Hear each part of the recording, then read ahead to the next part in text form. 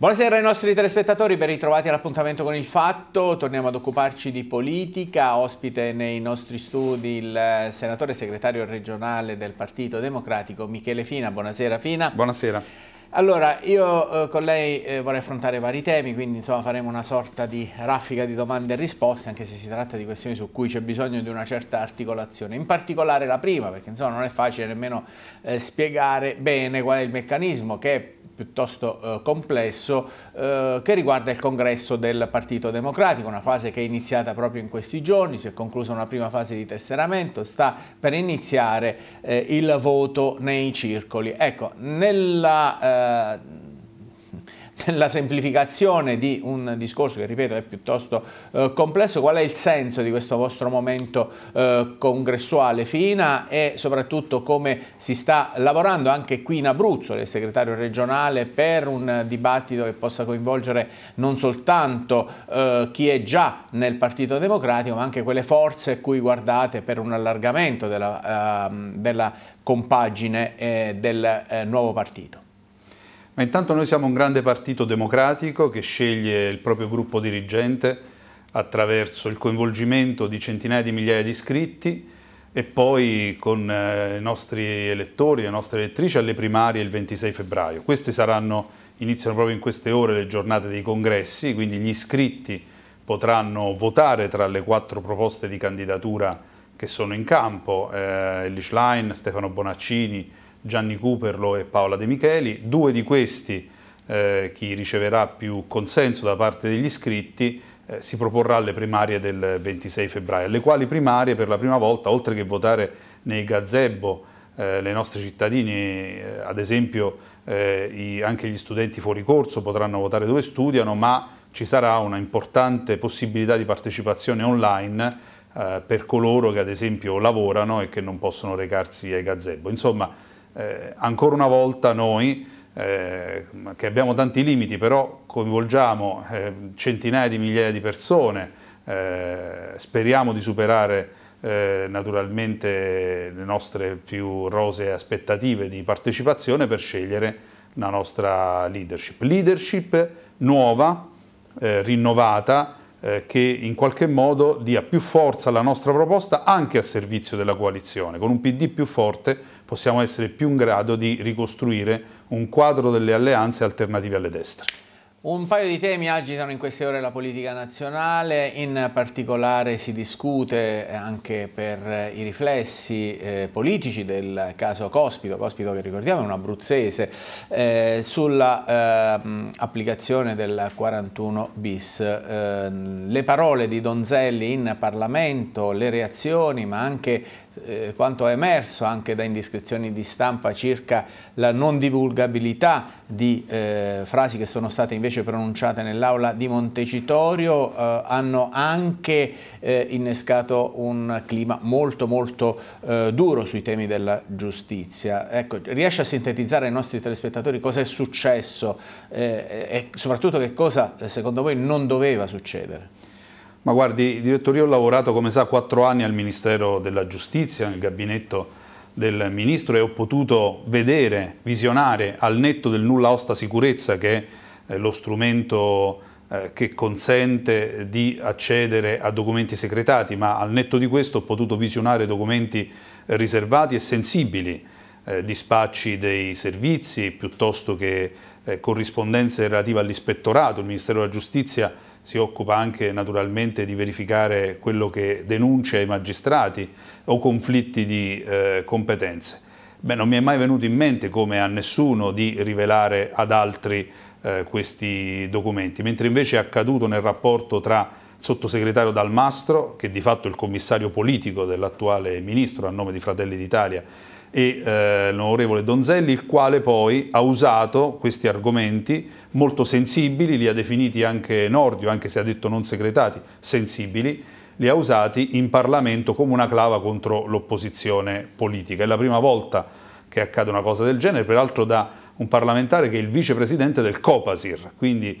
eh, è egli stesso chiamato al massimo della riservatezza su documenti, ma d'altra parte lo capisce chiunque, se si rivela un possibile nesso tra eh, terroristi eh, e mafiosi, è evidente che si sta mettendo a repentaglio un sistema di indagini eh, e magari si dà anche un messaggio eh, a coloro che non devono riceverlo. Insomma, è analfabetismo istituzionale totale. Dopodiché è successo in Senato, eh, dove sono io, sono io, anche qualcosa di più grave. Il senatore Balboni ha accusato eh, le, la sinistra solo per la prerogativa che hanno i parlamentari, che è una prerogativa fondamentale, che è quella di andare in carcere, verificare la situazione dei nostri istituti penitenziari, ascoltare la polizia penitenziaria, ascoltare i ristretti, è una delle prerogative più importanti. Beh, c'è stata un'accusa infamante eh, che è quella di aver eh, in qualche modo, ah,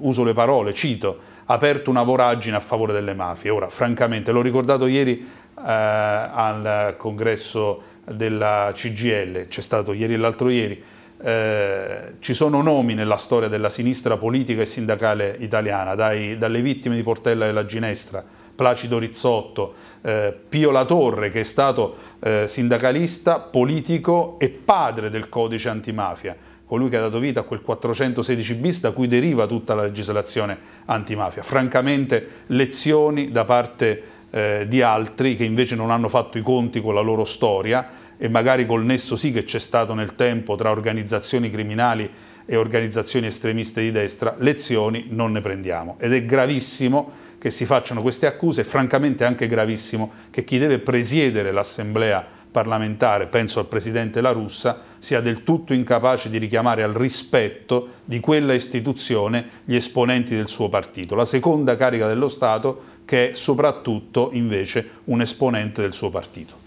L'altro tema che agita la politica nazionale è quello dell'autonomia differenziata con il progetto di legge eh,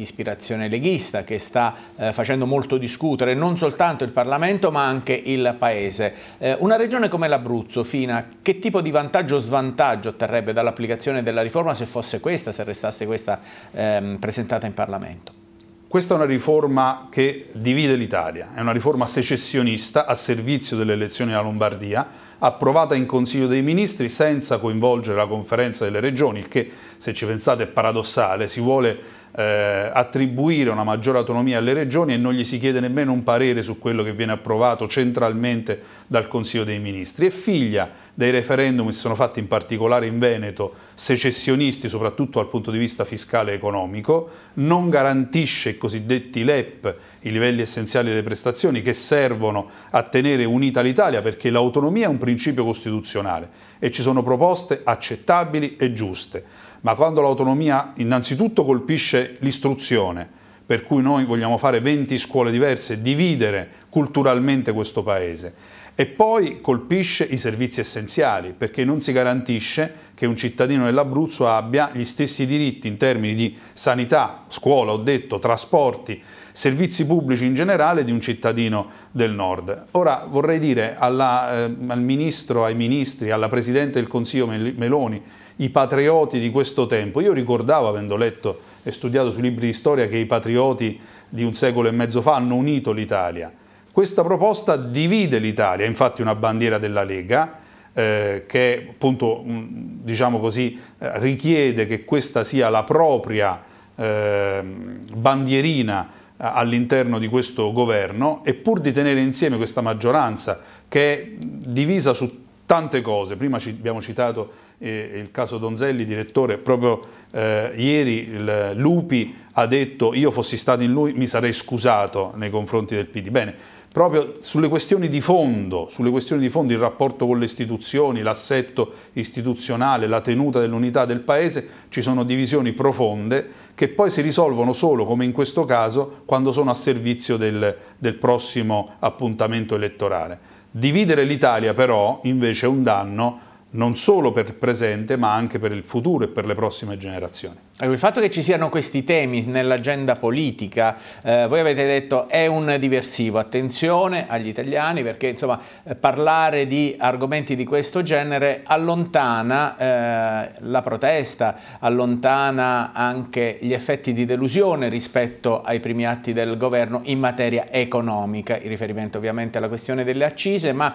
come valuta in questi primi 100 giorni la politica economica del eh, governo Meloni? Senza dubbio sono dei diversivi, si pensi al fatto che nei giorni in cui si annunciava lo sciopero dei benzinai si è aperta la discussione sul presidenzialismo. È evidente che c'è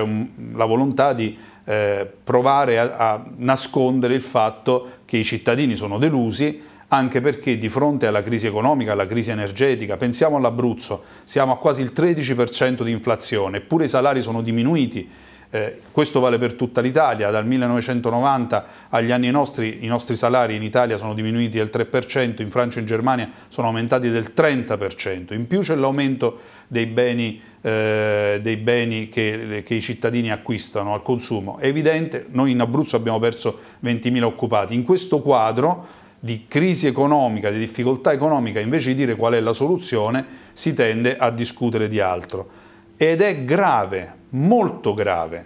che di fronte a questo tentativo di eh, dividere l'Italia affossando il mezzogiorno d'Italia, compreso l'Abruzzo, il presidente della nostra regione, ancora una volta, faccia l'uomo del suo partito e della Presidente eh, del Consiglio piuttosto che il primo cittadino della nostra regione, perché dovrebbe essere, insieme agli altri presidenti di regione nel mezzogiorno, il primo a dire che una proposta di questo tipo, quella approvata al Consiglio dei Ministri, è inaccettabile e che ehm, una politica che non contrasta eh, la precarizzazione, l'impoverimento, la nostra manovra, quella che abbiamo approvato contro i poveri piuttosto che contro la povertà, tutto questo danneggia in particolare le regioni del Mezzogiorno, Abruzzo compreso. Eh, parliamo dei suoi primi, dei suoi personali primi 100 giorni in Parlamento con eh, alcune partite che riguardano anche la nostra regione. Lei più volte è intervenuto in questi tre mesi sulla eh, questione dei piccoli tribunali. C'è stata una proroga, ma secondo lei non basta, occorre un provvedimento legislativo. Come si possono salvare questi uffici giudiziari? Innanzitutto approvando una legge che metta definitivamente mano alla geografia giudiziaria. Adesso in, nel mille proroghe abbiamo presentato tutti i partiti una ulteriore eh, proposta di eh, proroga eh, io l'ho presentato un emendamento di tre anni, ma anche, ma anche, gli altri, è solo che è la settima. Io stesso citavo prima i miei anni al Ministero della Giustizia, ho lavorato a una di queste precedenti sei proroghe. Adesso però c'è bisogno di una soluzione definitiva. Ecco, ma perché l'Abruzzo dovrebbe avere questo trattamento di favore? Questo non le viene obiettato quando fate questa battaglia in Parlamento? Innanzitutto nelle altre regioni, negli altri territori ormai eh, alcuni tribunali sono chiusi da oltre dieci anni, gli uffici giudiziari sono riorganizzati. In Abruzzo innanzitutto ancora permangono i problemi che hanno impedito di applicare questa legge, e cioè l'indisponibilità nelle città ospitanti di spazi sufficienti. In più si è dimostrato in questi anni che per una regione grande in termini geografici come la nostra, eh, noi abbiamo bisogno di presidi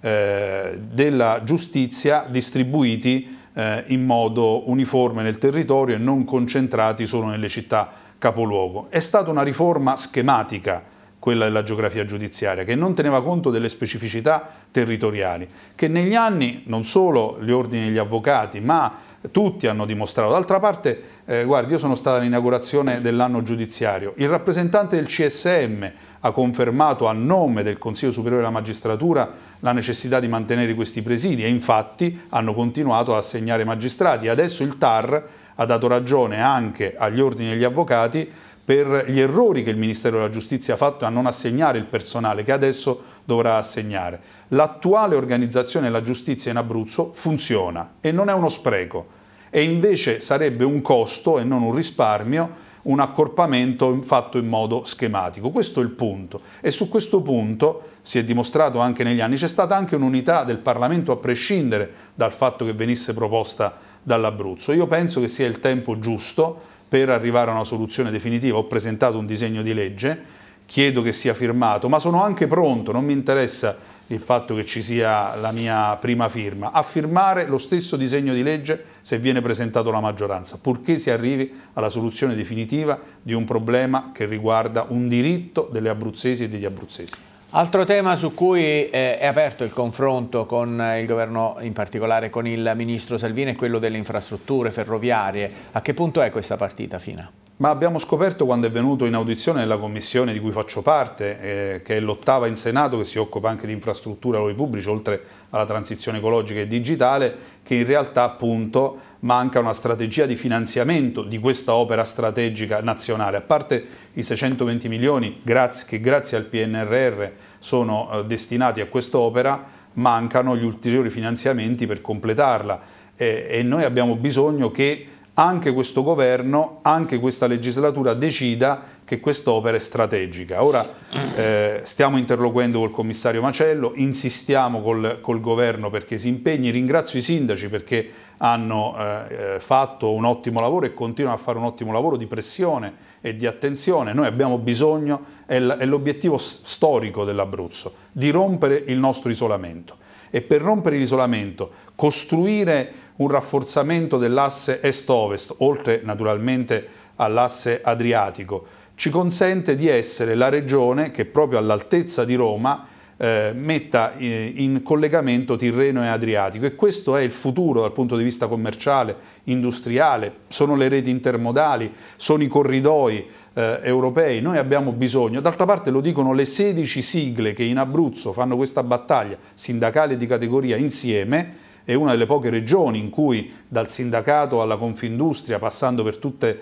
le associazioni di artigiani, di esercenti, che stanno insieme e dicono qual è la strada del nostro futuro. Ecco, accompagnare e sostenere questa battaglia, insistere affinché le nostre opere strategiche siano finanziate e completate è davvero il compito di questa generazione della nostra classe dirigente. Altra ehm, situazione su cui eh, lei è intervenuto più volte in Parlamento riguarda lo stato dell'arte della ricostruzione, in particolare anche i benefici legati all'applicazione del bonus eh, 110. C'è stato nel frattempo anche il eh, cambio alla guida della struttura commissariale con Castelli al posto di Giovanni Legnini. Lei eh, quali scenari vede, quali preoccupazioni ehm, eh, occorre eh, fugare all'orizzonte di un processo che per quanto riguarda il 2009 ormai eh, verso eh, la fase eh, di completamento, ma che per quanto riguarda il 2016-2017 ha ancora tante incognite. Guardi direttore, tre cose. La prima, noi sul tema della ricostruzione dobbiamo approvare in questo Paese un codice della ricostruzione, perché non si può ricominciare sempre da capo, anche questo ho depositato come disegno di legge, ma che è anche il frutto del lavoro che è stato già fatto nella scorsa legislatura. È stato cambiato il commissario, l'attuale commissario come prime primi atti ha fatto degli incontri di partito, gli ho detto nelle audizioni che questa non è stata la postura di Giovanni Legnini, che invece quando ha iniziato a fare il commissario è stato super partes, cosa riconosciuta anche dai presidenti di regione di altra parte politica, vigileremo affinché faccia bene il suo lavoro come lo ha fatto Giovanni Legnini. Tre, adesso stiamo discutendo una misura di legge che riguarda proprio la eh, stabilizzazione dei precari sulla ricostruzione e l'applicazione delle regole del PNRR, per la destra tanto vituperato PNRR, ma che aiuta a sbloccare, a velocizzare, a sburocratizzare le opere che servono proprio alla ricostruzione pubblica, che è uno dei problemi principali. Sul 110, guardi, è stato fatto un caos. Il presidente dell'Ance Aquila, che è una delle più grandi d'Italia per ovvie ragioni legate alla ricostruzione, ha detto eh, in un importante convegno eh, in cui eravamo tutti, anche i parlamentari di maggioranza, non chiamatelo più super bonus, chiamatelo super enalotto, perché è diventato ormai incerto. Quando lo Stato diventa incerto nel rapporto con i cittadini, cambia le regole eh, in corso d'opera, rompe un patto di fiducia e infatti questo patto di fiducia si è rotto e si è rotto soprattutto sul tema dei crediti incagliati. Sto facendo una battaglia importante perché noi abbiamo bisogno di sbloccare miliardi di crediti incagliati che mettono a repentaglio 40.000 imprese edili in Italia e può immaginare quanto indotto i professionisti, le case, i cittadini che oggi stanno litigando tra di loro in contenziosi. Insomma, questo caos si poteva evitare, il 110 si poteva riformare, ma il pregresso bisognava chiuderlo e bisogna chiuderlo, sbloccando i crediti e dando tempi giusti di uscita da una misura e di entrata in una nuova misura. Dopodiché quella che loro hanno proposto, il 90% solo per i crediti, solo per, per chi ha un reddito basso, non funziona, è la morte del 110, mentre invece, ce lo dice anche una direttiva europea utile, noi abbiamo bisogno di investire sull'efficientamento energetico degli edifici, perché è la principale delle cosiddette fonti rinnovabili, perché risparmiare energia significa risparmiare la bolletta, significa inquinare meno, significa produrre lavoro buono e rigenerare il nostro tessuto urbano, quindi investire su una misura come il 110, magari mantenendo in quella percentuale ma dedicandola a un certo tipo di immobili e dedicandola a un certo tipo di redditi a chi non se lo può permettere, farlo in modo strutturale, non cambiare le regole dopo un anno o due, questo significa mantenere la forza del settore dell'edilizia che è secondo nel nostro paese solo l'automotive, quindi puoi immaginare quanto sia importante in una situazione di crisi come questa. Veniamo ai temi più strettamente politici, il più recente dei quali all'attenzione dell'opinione pubblica è quello delle provinciali di Teramo con un esito eh, a sorpresa, la vittoria del candidato civico eh, D'Angelo che ha un po' scombussolato gli assetti anche internamente ai partiti e alle eh, coalizioni. Eh, nel centrodestra registriamo uno scontro eh, anche a giorni di distanza tra eh, in particolare la Lega e Fratelli d'Italia,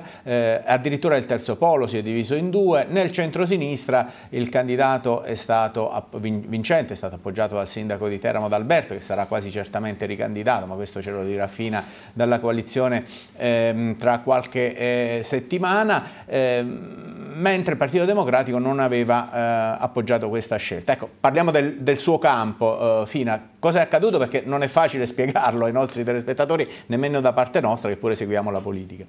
Non è facile perché la riforma delle province, che le ha rese un ente di secondo livello, il che significa che votano solo gli amministratori e non il popolo, eh, è stata una riforma monca perché doveva essere completata anche dalla riforma costituzionale. Per cui noi oggi abbiamo degli enti che hanno tante responsabilità ma che, sono, eh, che, hanno una legittimazione incerta, per cui prima si vota il Consiglio provinciale, poi si vota il Presidente, il Presidente e il Consiglio provinciale non sono legati tra di loro, insomma è una situazione davvero complicata. La mia interpretazione è che è un ente di secondo livello, esattamente come eh, i consorsi che si occupano di acqua, di rifiuti o le associazioni di comuni come l'ANCI, nei enti di secondo livello io credo sia importante trovare sempre uno spirito unitario tra gli amministratori e le amministratrici, più che una divisione partitica. Perché? Perché quando un sindaco viene eletto e poi va in un luogo di secondo livello a occuparsi di servizi, in questo caso la provincia, scuole, strade provinciali e anche altre cose, o l'acqua, i rifiuti, di servizi che riguardano il proprio comune, si occupa anche dei diritti di, dei cittadini che non l'hanno votato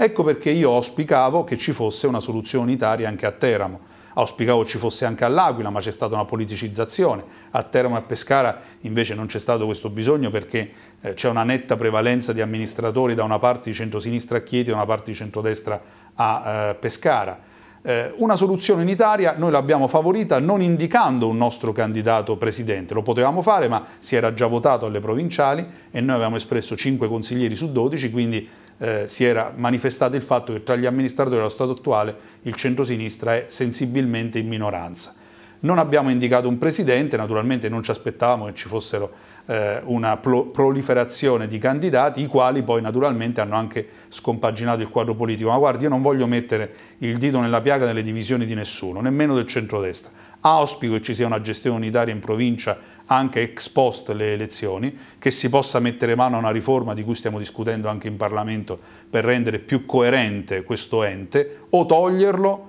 o ridargli una legittimazione e un'organizzazione seria. Per quanto mi riguarda è sempre meglio che voti il popolo, in quel caso, quando vota il popolo, come succede alle elezioni regionali, europee, politiche o nei grandi comuni, c'è il centrodestra e il centrosinistra e in quel caso il PD non ha mai dubbi eh, come possono avere altre formazioni che magari hanno un carattere più civico. Noi stiamo sempre da una parte che è alternativa alle destre. Eh, Fina, eh, Alberto è il vostro candidato alla uh, BIS al Comune di Teramo, questo non ancora me l'ho detto ufficialmente, però sarà così, immagino. Mentre Io sì. penso, sì. Di, essere, penso di, di averlo detto forse prima di tutti, noi pensiamo che questa esperienza amministrativa vada promossa, Naturalmente aspettiamo un, un tavolo di coalizione per, per, decidere insieme come riproporci nelle prossime elezioni amministrative, però sono contento di ricordare di essere stato uno di coloro che ha lavorato, forse il principale eh, diciamo così, protagonista dell'impegno a eleggere eh, Gianguido D'Alberto presidente dell'Anci regionale. Anche in quel caso ci fu un accordo unitario perché è stato eletto sindaco anche da sindaci di Fratelli Italia, della Lega, eh, certo, di Forza certo. Italia o da civici, però ci fu una discussione e io eh, diciamo così, mi sono battuto molto anche in virtù della forza del, di tutti gli amministratori del Partito Democratico in tutto Abruzzo perché il sindaco del centrosinistra del comune capoluogo eh, di Teramo, allora a quel tempo ancora eh, non avevamo Ferrara sindaco a Chieti, fosse il sindaco dei sindaci d'Abruzzo e penso che abbia fatto bene anche il presidente dell'Anci. Eh, questo eh, cantiere aperto della coalizione del campo largo, che non so fino a che punto porti fortuna, diciamo del centro-sinistra eh, che guarda anche al Movimento 5 Stelle, riapre dopo insomma, eh, la belligeranza delle politiche in Abruzzo, state già lavorando per un'alternativa a Marsilio, Fina? Guarda direttore, sono sincero, i congressi nazionali del PD, eh, di cui ho vantato la partecipazione all'inizio, hanno sempre due effetti uno positivo e uno negativo. Quello positivo è restituirci una leadership forte e credibile, oggi elemento essenziale per riaprire un dialogo con i nostri alleati. Il secondo negativo è che a volte sclerotizzano delle divisioni territoriali. Su questo secondo io sono contento di dire che in Abruzzo negli ultimi quattro anni abbiamo davvero lavorato a un quadro unitario che ad esempio ci ha consentito di eleggere una rappresentanza in Parlamento solo abruzzese senza catapultati, come è accaduto ai nostri avversari, ma devo dire, per essere sincero, anche come è accaduto al PD in altre regioni. Ora, noi abbiamo bisogno di questo congresso. Alla fine di questo mese avremo un nuovo segretario, una nuova segretaria nazionale a quel punto saremo forti anche nell'interlocuzione nazionale, perché guardi, se, se, dipendesse solo dal livello regionale, noi abbiamo coltivato in questi anni, e lo si è dimostrato nelle elezioni amministrative, come lei sa, un rapporto strapositivo con il Movimento 5 Stelle da una parte, le forze civiche, il Terzo Polo e le altre forze politiche di sinistra eh, intorno a noi. Eh, non siamo stati arroganti, non siamo stati presuntuosi, siamo stati una forza coalizionale, eh, che è la, la giusta vocazione del PD, che quando è così vince come coalizione ma è anche premiato come partito e questo noi vogliamo fare, vogliamo continuare a fare. Speriamo che la, i buoni rapporti che abbiamo costruito nel territorio negli anni siano rafforzati da nuovi buoni rapporti nazionali perché noi abbiamo bisogno entro l'estate di mettere in campo l'alternativa a Marsilio che come si vede invece di occuparsi di difendere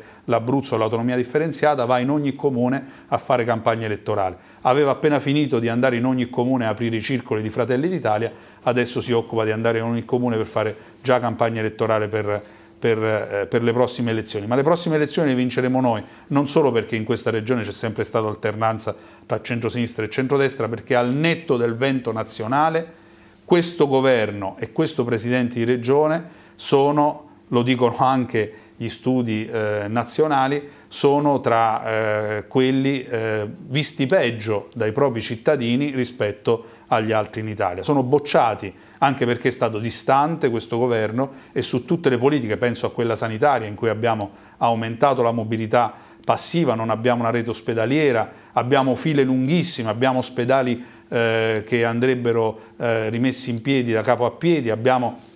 molti luoghi eh, non abbiamo i primari, non abbiamo la guida, non abbiamo i colonnelli, non abbiamo i sergenti, insomma questo caos eh, i cittadini lo hanno percepito, lo hanno percepito anche negli anni della pandemia, ma insomma siccome è andato, è andato aumentando adesso nessuno lo può nascondere, nessuna propaganda. Bene, allora siamo arrivati alla fine di questa conversazione, eh, diamo un buon congresso al Partito Democratico in attesa Grazie. di avere una uh, leadership nazionale che comunque sarà diversa da quella di Enrico Letta e seguiremo appunto questi sviluppi in particolare nelle prossime settimane. Grazie ancora a Michele Fine e grazie ancora ai nostri telespettatori, arrivederci. Grazie a voi.